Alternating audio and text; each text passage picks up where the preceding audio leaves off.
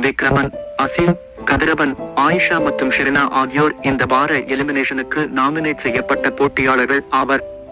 அதிகாரப்பூர்வமற்ற big Boss Tamil ஆறு வாக்குப்பதிவு முடிவுகளின்படி விக்ரமன் அசீம் மற்றும் ஆயிஷா ஆகியோர் பாதுகாப்பான மண்டலத்தில் உள்ளனர்.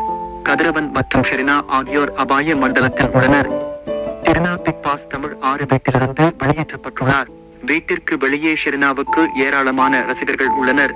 ஆனால் கடந்த வாரம் கேப்டன்சி டாஸ்கில் அவருக்கு எதிர்மறையான இமேஜ் கிடைத்தது.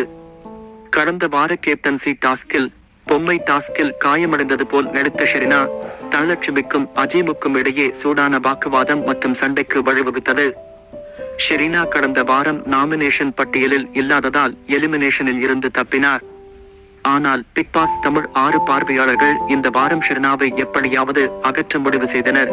அவர்கள் இறுதியாக அதை செய்ததாக தெரிகிறது.